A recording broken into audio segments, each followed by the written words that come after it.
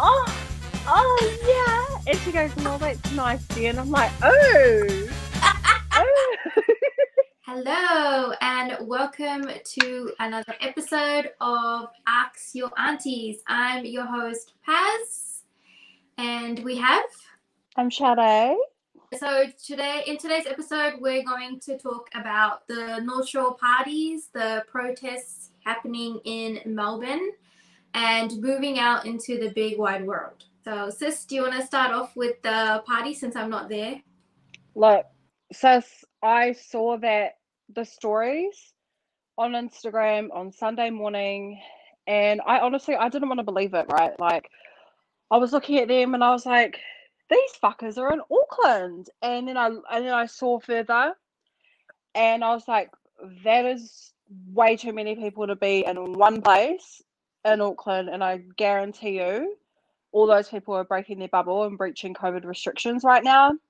So I, I watched it again. I double checked. I looked on everyone's like who was tagged in the stories to see like what was going on. And yep, sure enough, it was a big ass party in Auckland, uh, pre-party in Central at an apartment, and then they obviously all congregated to one home out in Albany and the party where like I don't know specific numbers, but there was definitely I counted definitely more than 50 people in the stories that I watched. Yeah, it did look like there was a lot of people. What I'm surprised about is, you know, the pre-party that you said happened at an apartment. I'm surprised that the neighbors didn't like call and complain about a noise or anything like that. If that was my neighbors, I would be like, honestly, people think that I just look for internet clout and that I like to cause drama, whatever the fuck.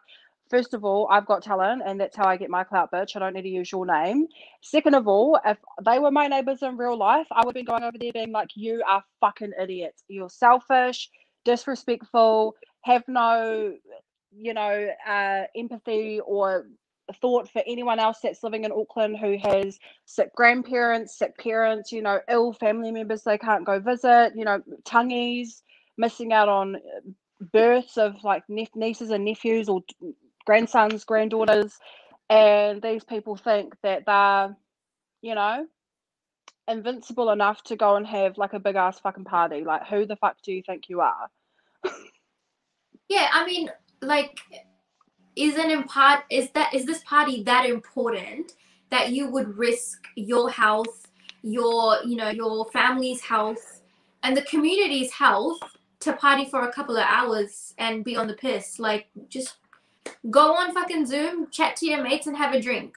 Like as uh, okay so i've got a grandmother who's uh, whose immunization or oh, what is it? Immunization immune system is low.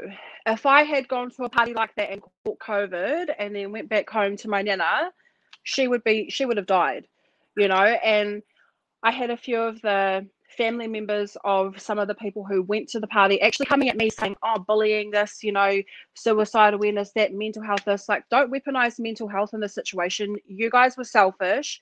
You knew what the fuck you're up to, so explain. Yeah, yeah, exactly. And like I just I don't understand because I, I think I saw I read somewhere or saw somewhere that like one of the girls were coming out and saying like do you know what you're saying to me? Like do you understand like what it's gonna do to my mental health and stuff? Did you think about the mental health of people that um, have been affected by COVID when you went to this party? People that are stuck in places where you know they can't even go home? Don't have a job everyone's stuck at home. Everyone is struggling with their mental health or, or the space that they're in and you think that you're special enough to go and party and then cry about it like no darling. Sorry. Yeah. Nah it doesn't work that way. We also had like um a situation here where they were like the tradies were protesting in the city and like it got really violent. And like the cops i know like obviously cops have like a really bad rep everywhere you go but they're still essentially doing their job. And the fact mm. that you can like harm them like that, like I feel like that's so not on. And like you're protesting for what? So you can have like a tea room to have your break in? Like it's just fucking ridiculous. I saw some of those lockdowns too, sis, mostly on like TikTok and social media. And you know, these these people who are protesting are the same people who are like, oh, um, you know, I'm anti-vax, you know, don't know what I'm putting in my body, and yet people at the protest were literally sorting out lines. Explain that to me. Explain. Yep. Doesn't make yep. sense because it you doesn't. like obviously you sis you you live in melbourne where the protest oh sorry the lockdowns have been some of the harshest in the world tell me how this has affected you and your everyday life and how you live yeah well um when i found out i was pregnant um we we didn't know covid existed and then literally like two months into the year of 2020 where like suddenly there's COVID, you work from home, you're in lockdown. So it affected me quite a lot because it was my first pregnancy. Um, there's a lot of things I couldn't do. I couldn't, you know, have like a baby shower. I couldn't do any of like my religious stuff. And like everything had to be like downsized and like I only had to do it with like my parents because we live with them. And like I couldn't celebrate, you know, this like I'm bringing life into the world and I couldn't celebrate anything. And like my son has all he knows is lockdown. And like we're opening up soon, but I missed I can't get that back. And like I've missed out on so much. And we've had deaths in the family. We haven't been able to travel overseas to see like our nieces and nephews being born and like we can't participate in anything. So it, it like mentally it, it is quite a lot, but people just don't realize because sometimes they're not affected by the same things as everybody else. Sometimes they're okay with being in lockdown or they're like okay with kind of always fighting the man about anything and everything but you just you kind of learn to live with it but at the same time it's hard it is really hard sis and you know even just touching on the fact that you couldn't even do something as simple as have a baby shower to celebrate the fact that you are bringing life into the world like that i can't even imagine you know that must yeah. have been because those are the sorts of things you look forward to, and that's those are the things that you kind of look forward to when you're pregnant. You know, doing doing the baby shower and having a gender reveal, and um, you know, just things like that, and not even being able to do something as simple as that is it's eye opening. I never thought in my lifetime. I was actually saying this to my boyfriend before. I never thought in my lifetime I would live through a pandemic. I thought I'd live through a world war before I lived through like a deadly pandemic. You know? Yeah. Um, so we've actually had a few protests happen over here as well. Funnily enough, I went to the Gypsy Fair on Saturday um, at Anderson Park in Napier, and yeah. I was like, why is no one wearing a fucking mask? Because down here in Wellington, like more more or less, people wear masks, and it's easier to spot someone not wearing a mask than someone wearing a mask. You know what I mean? So yeah. I mean, wait, no, it's like easier that they stand out because they're not wearing one. And yeah. back in Napier, like mm, barely anyone wore masks, and I was like, what the fuck? And like even at those protests in Auckland, run by Brian Tamaki, which who by the way should be locked the fuck up um yeah. it's just devastating because these people think that it's all about our freedom and, and, blah blah blah. Well at the end of the day like you might not be alive to enjoy these freedoms had these restrictions not been put in place. So like stop being selfish. You're not the only one going through it. Exactly. And if everyone just followed what they were supposed to do we would come out of lockdown so much more quicker. These numbers like we have like 1800 like cases today and 12 de- deaths today. Like so oh. obviously like the community i understand we're tired of being in lockdown but if you just follow what the health advice then there would be less cases and then we would come out of this quicker. So you're just slowing down the process pro- process by going to protest parties whatever. Like it's just it doesn't make sense. From your point of view over in australia do you think what Jacinda Ardern did by snapping us into lockdown for four weeks when COVID was first around, do you think that that was a good idea? Um, I think so because like I feel like you need to act quick because it spreads so quickly. So the fact that she did that, I think she saved a lot of lives. Hundred percent, one hundred percent. You know, half these people wouldn't even be around or alive to whine about everything that's going on. So like, just shush, just Exactly. I've done the best that they can with what we've got, you know?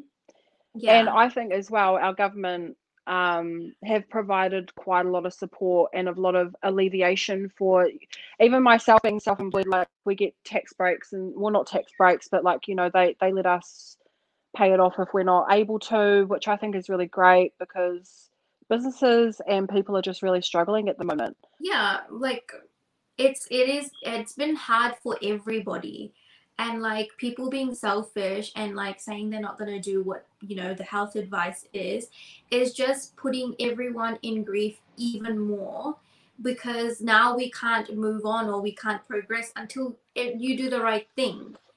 And like i understand there's hesitation with the like vaccine and stuff but would you rather not get vaccinated get sick and pass away or would you rather get vaccinated and be sick but still be saved because a vaccine kicked in and helped you. Right. Like, right. We vaccinated throughout our lives. Like, my son has had a few vaccinations for a whole different thing, number of things. And, like, why wouldn't I want to protect him? Obviously, I'm going to get him vaccinated because I had the same vaccines and, like, I'm okay. So I would want to protect him any way I can. Yeah, there's a lot of rhetoric out there, sis, about around the vaccines of like oh it, it, causes like autism and, and and other things like that. But at the end of the day like we don't have polio measles running as rampant as it was back in the days before these vaccines existed. And i would rather listen to someone who's studied and knows their shit than some idiot who just chucks up fake shit on youtube like conspiracy theories. Like that's literally where people are getting their information from these days. And i think that the internet and the access to a lot of information has actually I don't know. It's it's good, but it also comes with a really at a really high price where people are misinformed about things.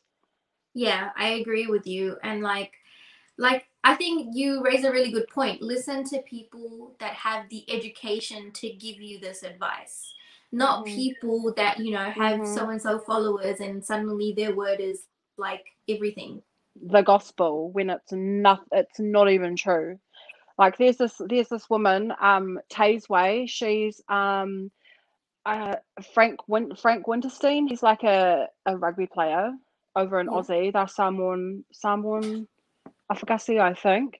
And she's spread a lot of rhetoric about um like fake rhetoric about vaccines causing autism and, and, and things like that when she has a, a large following of people who are mostly people of color you know and and she almost well i think i think she actually got stopped from doing this but she was going to go and do an anti-vax speak or or whatever over in samoa you know a place where medicine and healthcare is of lower quality than what we can receive over in australia and new zealand right? And who's spreading that shit over in a country that's already susceptible to uh, diseases uh, and going to spread her shit over there. It's just it's not it's not help helping. And her her um credentials were she did some fucking online course for like one year about like holistic health. And she thinks that no, darling, no, sweetheart, you literally got your qualification from a fucking cereal box. You don't know shit. Yeah. No, no, it's like seriously. And this brings me to another point. I'm sorry to stray away from anti vax, but pro choice no, no. and like abortion. Go for I don't it. know if you have, like, we have people that we know that are spreading all of these like misinformation. So their point of view is um, that you, like, you know, a life is a life and like abortion there should be no such thing as you know you getting an abortion now i don't think they understand that there's a number of reasons why a woman might want to choose abortion. It could be health reasons like their health could be at risk the unborn child's health could be at risk or they've been raped um you know subject to violence things like that. Like it's not always like oh i don't think i want to have this child. Like there is other reasons that can be quite traumatic for a person to have to go through birth like they will spread all these things like oh um, women shouldn't shouldn't um, get abortions and like okay well if i was subject to rape or subject to domestic like violence so they this person has already taken the choice of my body away from me. Now you want to tell me that i no longer have a choice on what i want to do about the result of what happened to me so how is that gonna like help me in any way so it just really makes me really upset that people like want to take that choice away from women so, so I grew up in a Pentecostal Christian household, went to church every Sunday, you know, and and growing up in that environment, I only knew like anti-abortion and anti anti-LGBTQ, you know. So I've had to really unlearn all this shit. And because like before, because of what my family and the church had told me, like I was almost scared into like abortions are wrong, like blah blah blah. And and I really did used to think that, but because of what I was taught. Now as I've grown up and I've come to learn about the world and and, and things that happen, I've changed my stance. Like I'm fully like, girl, if you need an abortion, if you need to get it, then you know that that's your choice. It's your body. And like at the end of the day, I don't have a say because I'm not going to be there for that child. I'm not going to be the one that that gets up in the middle of the night with that kid or has to feed it or has to fork out money to pay for it you know so i don't think that anyone should have any right to say over what someone does with their body so like and I, am saying this because like recently there has been like a few like posts being made like with statistics like oh abortions impact impact more mentally um than like um like not not having an abortion. And i was like i don't think that really makes any sense because like if this this this pregnancy did result from um you know violence i'll, I'll just use the word violence because it's less triggering triggering so if it did result from violence now i have to deal mm-hmm. with you know the result of the violence i feel like that would affect me more than like actually having a choice and being the boss of like my body and deciding okay i understand that this happened to me and like now i have a choice on what i want to do about it and mm. like i don't think it should be like you said up to anybody else to decide that for me no and because I see over in America, they're just all oh, talk. sorry. That's okay. Like they're all talk. They they talk about it and they'll like raise awareness about it, but they're not the ones to open up their wallet to help you raise this child. Yeah, and I think what all people also fail to understand is there actually is a rigorous process to go through to even be allowed to get an abortion. Like you have to go right. and speak to a psychologist or someone, you know, someone in the mental health sector to make sure that you are in the right frame of mind and, and, making a good decision for yourself. So it's not just like you can walk in like a fucking doctor or like to go and get your nails done and be like, "Yep, I want an abortion, please." Like it's it's it's a process. Right. I didn't know and that. it's not something that people just. Yeah, personally, I've never had one, or I've never had to have one before. Um, but I've been through it with some of my friends, and it's it's hard to watch them because you know these these are women who don't necessarily actually want to give up this child, but they know in their mind that they are not fit enough or in the right frame of mind to be able to handle the responsibility, you know? Yeah. Yeah. But yeah, that was just my little thing about it because it just really makes me mad that we still have to have this conversation in 2021. Like, why is this still? Because it's mostly fucking like, men who are against it well this is a woman that like really triggered me and it's someone that i know and i've been to like school with them and like i'm just really appalled at the type of shit that is because this person is influential to young minds. And i don't want to say more than that but like to think that this person has these ideas in their head about stuff like this and like they influence younger minds like what are you teaching to like our next generation? Right. It's like the 21st fucking century bro. Like we don't live in those times anymore. We live in a time where it is hard to even get into a home these days. So people are really actually making a responsible decision by saying actually i can't afford this child. I can't like provide a stable secure environment for them. So i'm gonna you know go through with this. And i think in in in the biggest sense that that is the most selfless thing you can do you know is actually looking inside yourself and being like no i'm not fit i'm not stable enough to be able to raise a child. Yeah, and I think that's only your call alone to make. Yep. Yep. 100%. So in saying that, I feel like this brings us into like moving out into the big wide world because it, in a sense it's like becoming an adult. So what yes. would yes. so How old were you when you was moved out of home, sis? sorry? How old were you when you first moved out of home? I was I think I had just turned 18. Wow. And how was that? Yeah. How did you go about it? Did you find your own flat? Did you move in with your friends? Um, okay, so I was in Sydney and I had just finished school and I couldn't get a HECS because you have to live in Australia for a certain amount of time and then they'll give you like HECS. Obviously, I'm not rich enough to pay like for university out of my own pocket. so um, I sat around for a while thinking like I had a job, but like I was thinking like, you know, what do I want to do with my future? Like how am I gonna navigate? Like, what am I gonna do? So I applied for AUT and then I got in and then I just moved. I moved in with my um, uncle's family and then that was like horrible. And then I moved in with my nan. She took me in. Best nan ever. Oh, So she took me in. And then, so the first time I actually moved out on my own was when I moved in with um, my husband. And then we had a little like um, little apartment in New Lynn, and it was two bedrooms, and like the outside looked like the ghetto, but inside it was like renovated, so it was new. and I like it was good, and like since then, like I've I've lived in like different environments. So like I've I've lived in a place where like I had to rent with like other people, so I just rented a room, and that was like really weird because we discussed it before how like the homeowner she used to live with us too, and she used to go into my trash and like check that. that one, that crazy number. Oh, Yeah. I remember you used to ring me about her and be like, "Oh, bro, she's been through my rubbish. The weird fuck." Yeah, it was so weird. I was like, who I does that? remember that.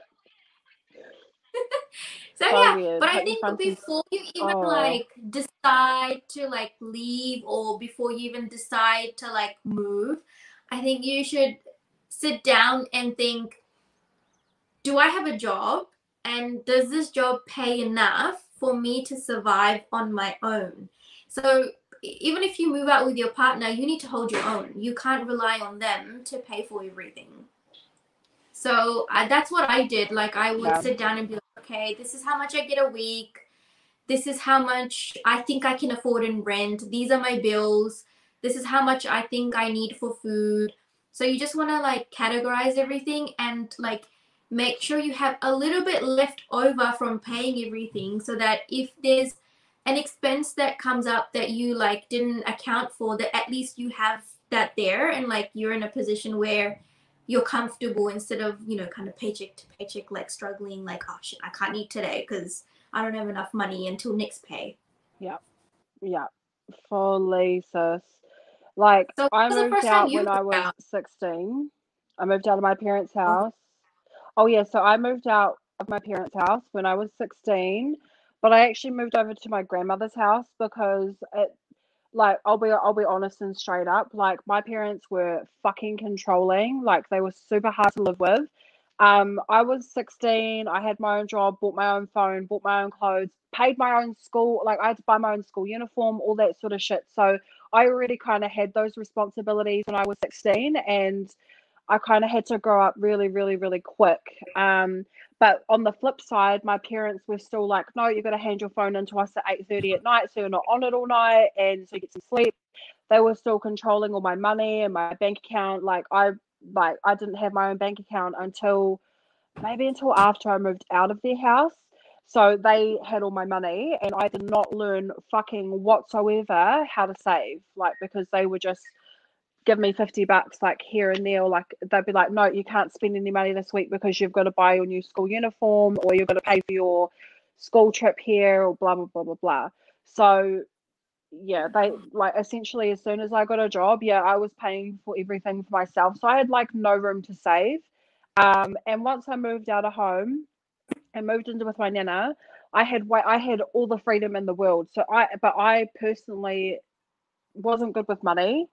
Um like I didn't know how to budget. I would just if I wanted something, I would just get it, you know, like I wouldn't account for other things that I might need later on in the week, like pads or something, you know, or tampons or something like that. Um yeah. so yeah, I've really had to I've really had to like unlearn that shit as well. Um and really be an adult and budget and like save and like, you know, I've got my money like I've now I've got money in account that I cannot touch whatsoever because it's there for like a complete emergency, you know? Yeah. Wow. And like think... and transferring transferring money for McDonald's and transferring money to get this new to get new clothes, uh, like that's not an emergency for me anymore. So she's learning. anymore.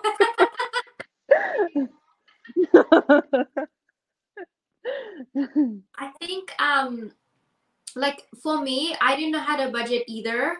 Um, I kind of was like, okay, like I get paid, I don't know, 500 a week and um rent is like, I don't know, 150 and then I've got to pay for my bus fare to get to work and I've got to, you know, food and then I've got like so it was kind of like yep, I, I think I can do it. So I I did struggle a lot um as well, but like because I had to like work and go to uni at the same time because of, otherwise I wouldn't have a roof over my head.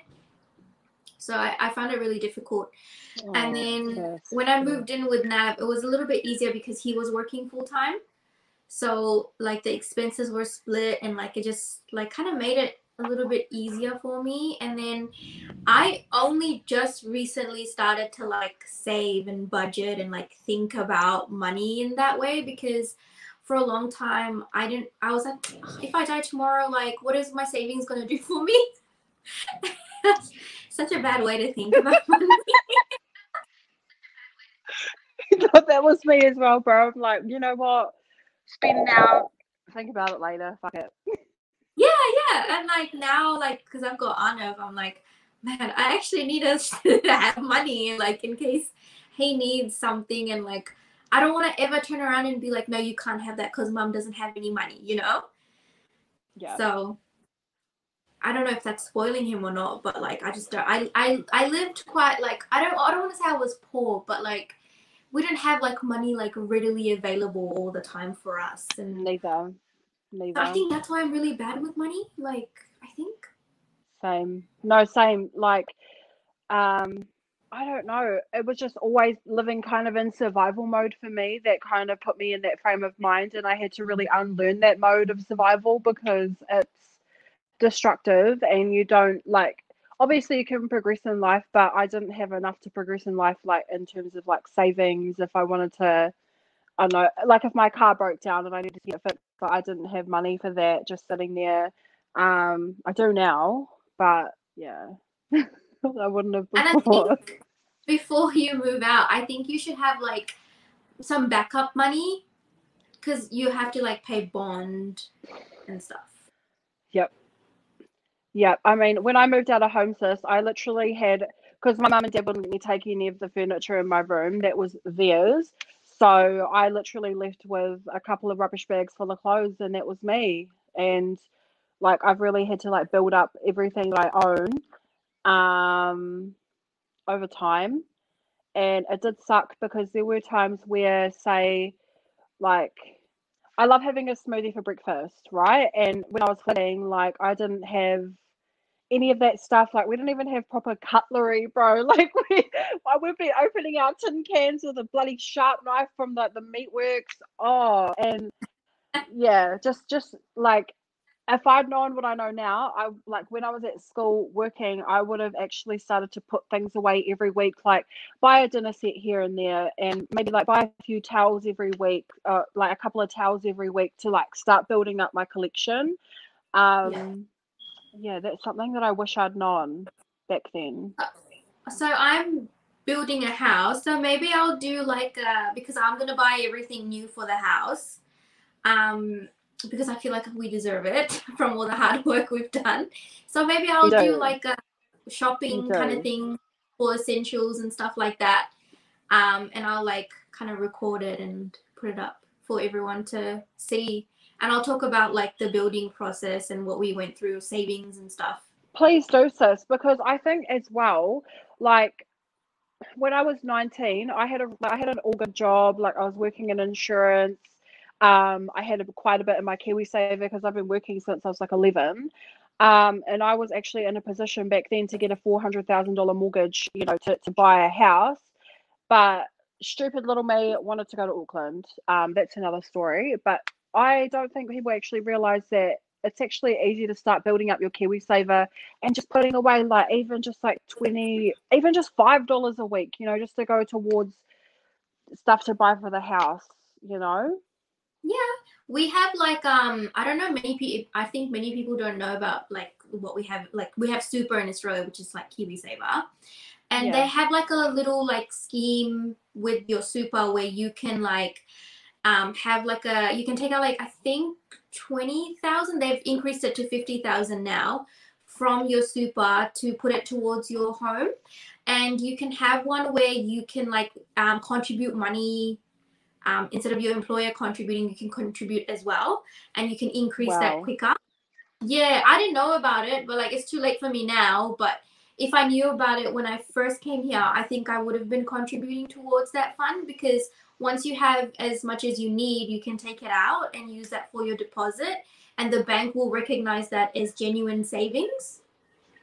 Yeah. So in New Zealand, we've actually got a scheme for first homes as well, um, Yeah. Which I actually think is quite good. So on top of your KiwiSaver, if you're getting your first home, you get ten thousand dollars.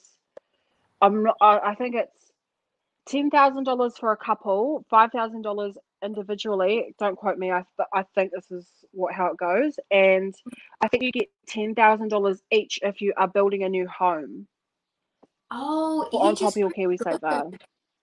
Wow. Yeah. That's like an extra twenty thousand dollars. Yeah, well, we have that too, but we have like um if you're a couple, you get 10,000 and if you're just by yourself, you get 10,000. So like you can't have double if that makes sense. Oh. Oh, So okay. gonna Yeah, see, that. it might have changed since I last looked at it. Hey? Yeah.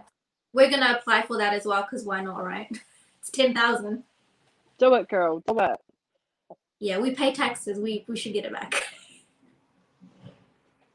Yeah, hard out. Hard out.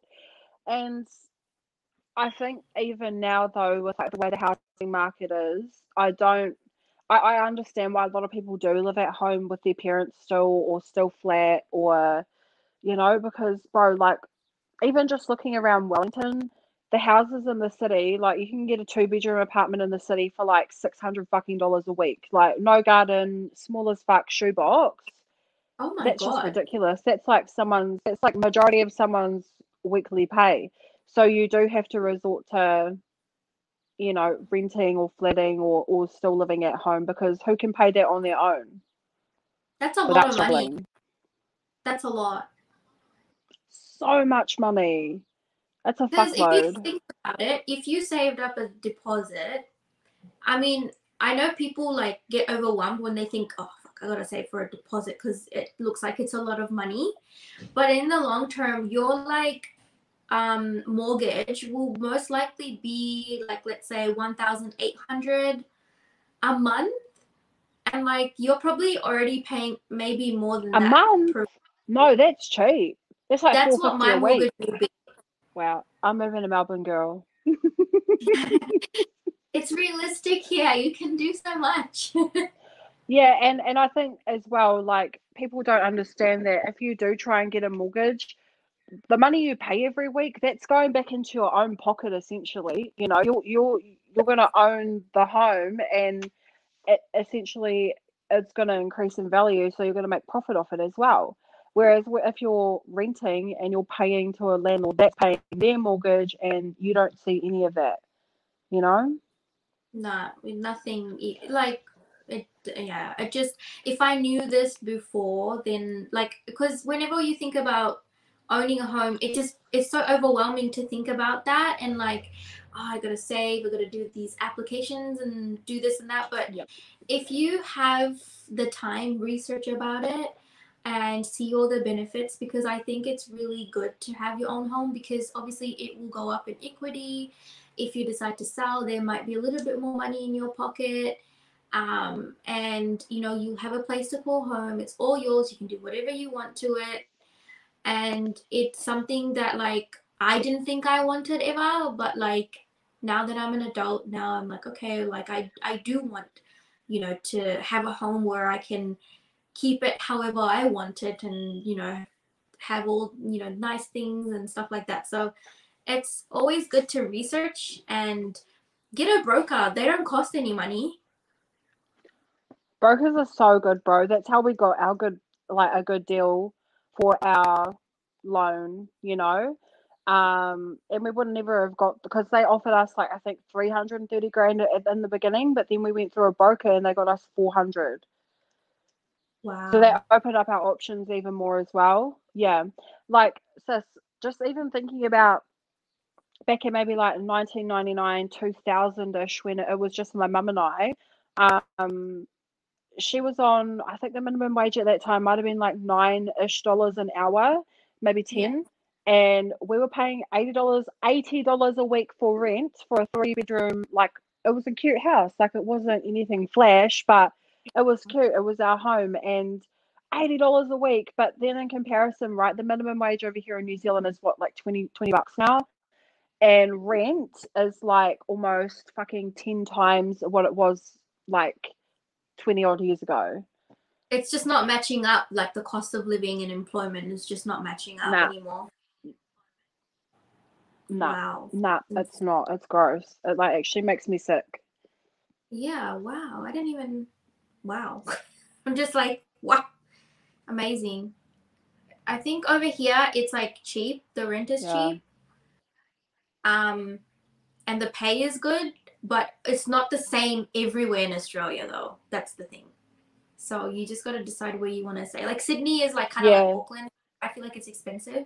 I would never live in Sydney, bro. Never ever in my life.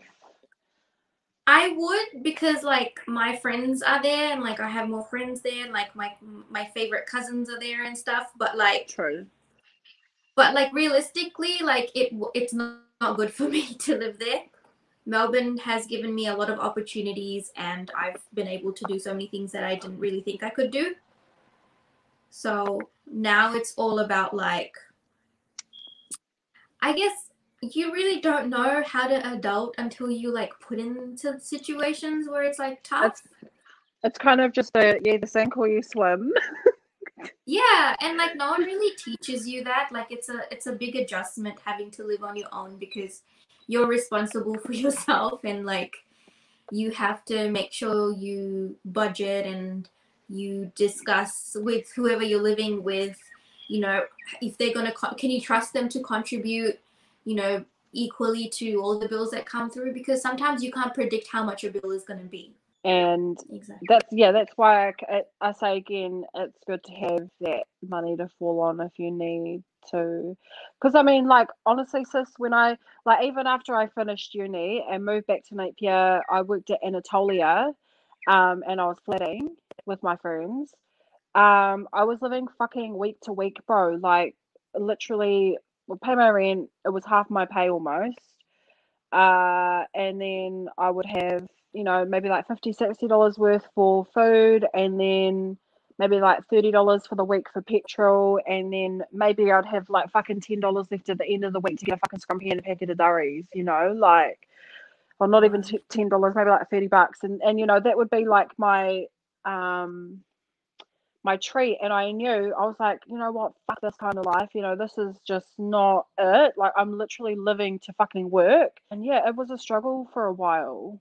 Now, I don't know if you want to um, discuss this, but you have really interesting stories of when you lived with other people.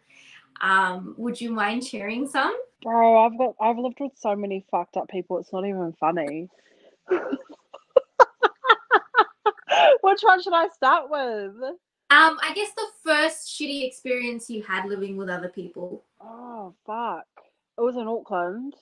Yeah. Um, some people, uh, well, they essentially like took me in, okay, because like I got kicked off my fucking tour. Um, I was literally I'd moved out of my home because I thought I was going to be on tour for a whole. I think I was going to be on tour for like eight weeks. So I moved out of my flat. Well, I was actually living with my auntie at the time. Ended up in Auckland, and once I got to Auckland, I got kicked off the tour because they said I wasn't making enough ticket sales, which is fucking bullshit. Um, by the way. Um, so these people kindly took me in. Once I got a job, I got a job within like a week and I was working again and I made a deal with him and I was like, look, you know, I appreciate what you guys have done for me. Um, I'm gonna back pay the rent from like a week, you know, the couple of weeks that I was there, you know, after I got kicked off the tour, which was cool. I did that. Um, I came down to Wellington for like three months for work. I still was living in Auckland. Um, and I was still paying my rent up there.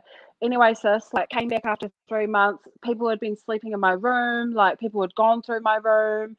Um, and it was just a really toxic environment and like after that, and I was like, nah, fuck this. Anyway, we started to like because my partner ended up moving up to Auckland with me and living at this place. So we decided, look, we work on the North Shore. We're just going to move over to the North Shore to this place that we found. Um, and in the end, bro, they were like screaming at us, saying like, "Oh, we aren't going to be able to afford this house anymore." Like, rah rah rah rah rah. Like, and I was like, "Bro, like, we've got to. Sorry, but we've got to do what's best for us. Like, you can't just bully us, bully us into staying here." to help you out financially like that's not our like this you guys were living here before we even came here you know and i just felt a little bit yeah backed into a corner so they started making up shit about me saying like, oh, um, she never paid her rent, blah blah blah. And I was like, are you fucking serious? I was paying my rent there when I was like in Auckland. Well, I was down in Wellington for three months, also paying rent down here. Like, don't you? Oh, bro, it was it was just toxic. And like after that, yeah, I lived with a couple of more people, and it just, yeah, Auckland just wasn't for me, bro. You know, uh, the people up there are just so weird and too I don't know, very judgy and like materialistic people, you know, because like even though like what I do and I like to have nice things and shit, like I'm still a budget bitch. Like I'll still like I'll still eat noodles and shit for dinner if I have to, you know, like it doesn't bother me. But these people were starting to say like, oh, she all she does is like eat noodles and like they were just talking shit about me, bro. And I was like, are you fucking serious? Like I don't. It was just a whole thing, sis. It like why it was does actually it a really traumatic experience to me why does it matter to you? I'm, at least I'm not starving. Like, hello.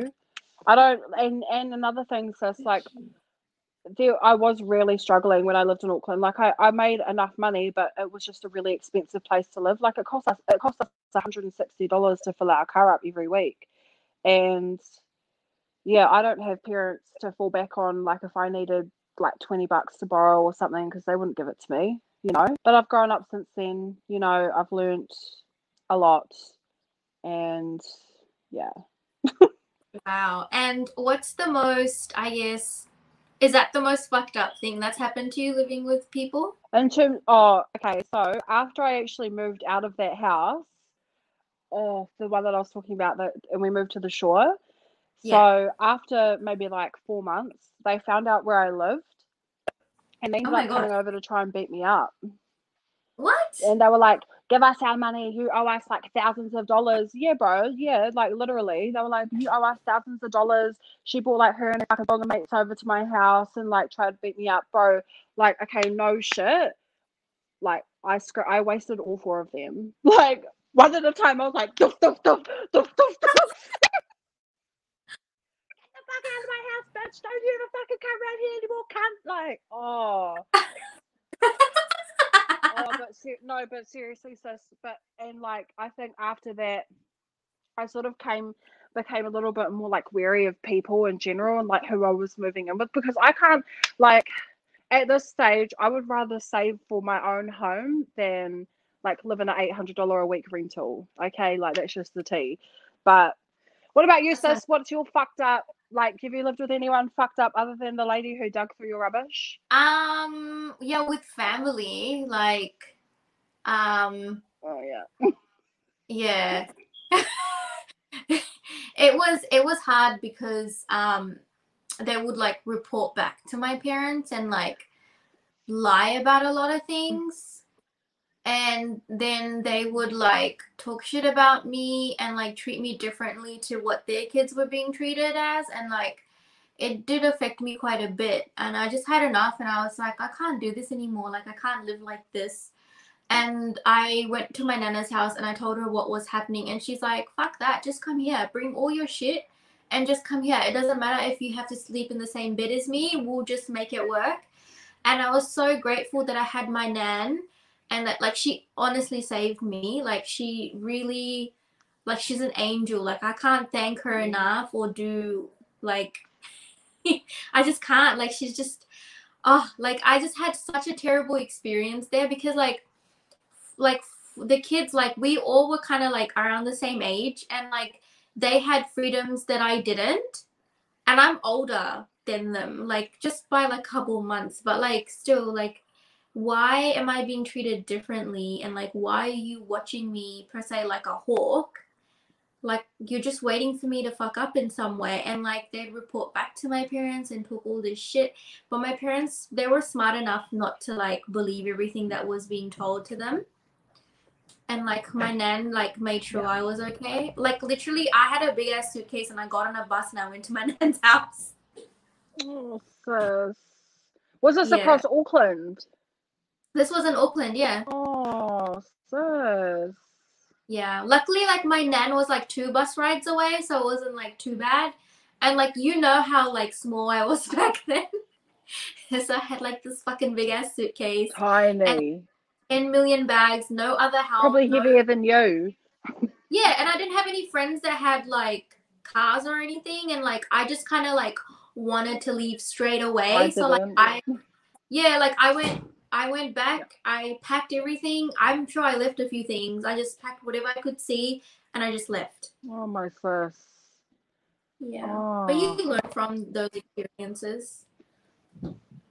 Yeah, and that's why, like, that kind of brings me back to like the housing crisis issue where, you know, people aren't actually able to afford their own spaces anymore. So they're having to live in like these toxic as fuck environments sometimes where they Yeah. literally can't get out or don't really have anywhere to go. I remember you telling me, bro, that at, when we were at uni that you had to sleep like with your nana and like that made me so sad, bro. Like, even just thinking back, but at the same time, I'm like, Nan, love you. Like, Yeah, my name would she do the same, bro. My name would be like, okay, well, you can just sleep in my bed then. Fuck it.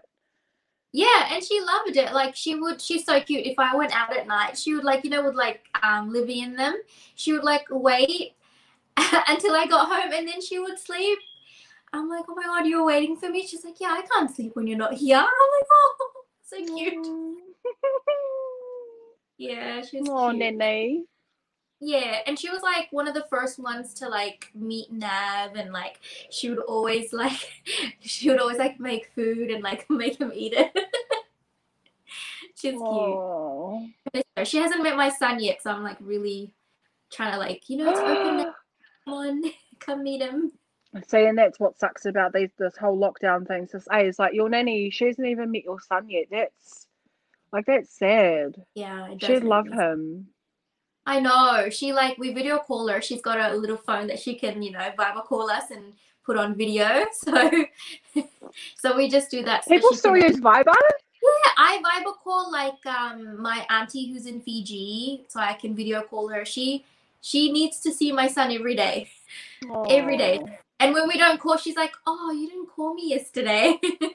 oh, her. cutie. Eh? yeah, so like my family, like we're close like So- that. Like I just love them so much, and like I'm so glad I have such like amazing women in my life. Cause my nanny's strong. Hard She's out, so sis. I do too. I love I love my nan too. your nan's funny. My nan's my mum. The How cute. other day she goes to me, so when are you gonna go and wash that stink Mick? I was like What? Did you just say that? What the fuck man? Oh, I might even wait, and I might even insert that clip in into into that little bit after that because it's funny as fuck, and I filmed it on Snapchat. Oh my god, yes, please. I didn't even make her say it; she just says that shit now. She's hilarious. That's so funny. I know, and I always go up to her like in the end, I go, "Oh, oh yeah," and she goes, "No, that's nice, dear," and I'm like, "Oh, oh. oh but no, god. seriously, like my nan, she she was another person who saved me as well, sis, because living with my parents, it was very like abusive, very controlling, how I said before. And like if I didn't have my nan's house to move in with, like I I don't know where I would have gone. And like even just even just little things like having dinner cooked for you every night, that's such a big thing we do not take advantage of or do not appreciate enough when we're at home either. Oh yes, I have dinners cooked now and love it. Oh yes, but like we do cook sometimes, um, because my dad has recently um wanting he wants to be healthy, so he's like wanting to eat like salads and stuff. That is so not my dad. Like I don't know what's wrong with him, but um, he's kind of like and yeah, I was like, "Are you all right?" He's like, "Yeah, I just saw something online about being healthy," and I'm like, "Okay, well, you do you, man." So I just cook like easy stuff because Nav's not picky at all. He'll eat whatever I cook, so it's good to not have picky people to cook for because it's fucking hard. hard out. Like honestly, we my boyfriend, if he if he could eat chicken nuggets and chips or like just hot chips every night, he wouldn't even care. Oh my god, that's pretty easy. Like I feel like it's very hard know, to I'm like, no, we need to feed. yeah, it's hard to cater for people that like are picky and like won't eat like so many things and then you like kind of get stumped on like what to cook because oh they won't like that or that's too hot that's too like salty whatever and you're just like fuck just eat what i'm making man like just and my husband even if it's disgusting he'll still eat it Hard he'll be like "What's oh, babe thank you we love like we love a non-fussy eater. oh yes my son is a non-fussy eater as well so i'm glad So he'll just eat anything. oh yeah did you see the photo yesterday Of him in his high chair. yes Oh, we he looks so cute, bro. He hard out looks like you. Really I think he does. Oh, thank He's got you. your eyes, I, I oh yeah, he's got my eyes definitely. I like made satay chicken with rice, and I gave him a spoon, Mm. and he threw the spoon on the floor and ate it with his hand. I'm like, like a true Indian. Good job. Oh, I love that. and no, he just always sees us eating with our hands, so he's like, why am I eating with a spoon? Get. Eat my hands like yo. Yeah. so, do you have any other like tips for anyone that's wanting to move out of home? Sis? I think is when you decide to live with friends, I think you need to be cautious. Um, it can ruin friendships. Um, Yeah. no matter how good your relationship is with your friend, like I feel like you don't really know a person until you live with them because like there are certain habits that you only see at home. And like same goes for like my I would give the same advice for relationships like before you like I don't know propose and you know think about marriage and stuff. I think Move you should live together. together. Yeah. Yeah, because then you'll see exactly what you're going to be dealing with on a daily basis. Like it was a big adjust- adjustment for me living with my husband because we we both have like habits that we don't like and like you kind of have to compromise and like you know like your cleanliness might not be on the same level like what you think is tidy might not be tidy for somebody else so like it can ruin friendships, it can ruin relationships. So you need to kind of put those things into consideration as well and like and not to move out in haste. If you move out in haste, there could be like, you know, you could struggle, you could live paycheck to paycheck, you might be short on money and stuff like that. So I think that like it's a big decision.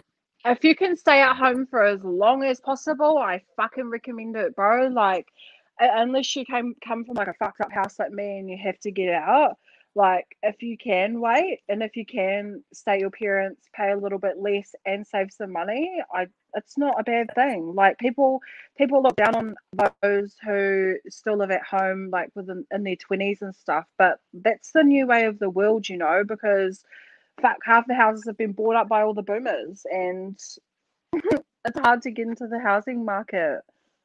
Well, yeah, I'm an example of that. I live with my parents, and I would not be able to save up for this deposit if it wasn't for them.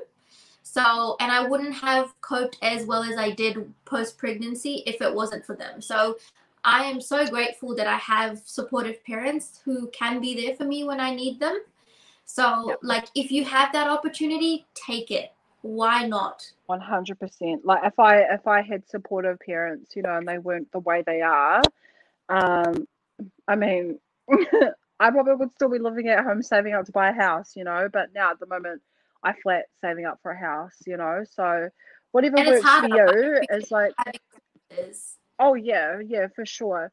And like even when you were saying before, like about not like learning about people's habits and stuff like that when you actually live with them. Yeah, like I was brought up I had to clean the house like deep clean, dust everything down, clean the bathroom, clean the toilet, vacuum my whole room, like the whole house basically, and like clean my room all out ready for the next week.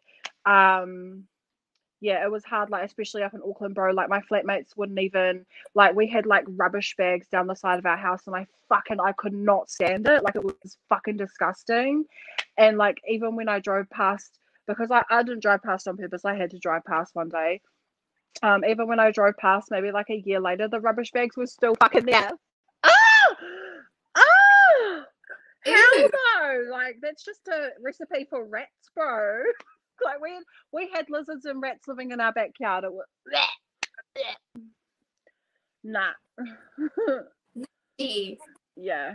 Even even just little things. Okay, like I'm gonna give people an example. Even just little things like doing the like doing your recycling and your rubbish properly is like such a big help in the long run. Like that's something that I wish I never let happen at my old house because like in the end it just got so overwhelming with like rubbish bags that it was just not even funny anymore. And like I lived with proper adults, so like they were in their 30s and they would not even like go to the dump or do things like that. Whereas like I grew up in a house like we would do a dump run every like month, you know. So it was it was actually quite hard adjusting to a new environment and like a, a new way of how people lived.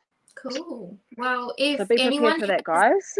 yeah, has any tips that we may have missed, please like write it down below. So if anyone's moving out, they can take in these things into consideration. Because I feel like, you know, when you want to move out, it's so exciting yes, and like, oh, I just want to go and like I'll be fine. But like you need to think about these things. It's really important so that you benefit yourself and you don't struggle.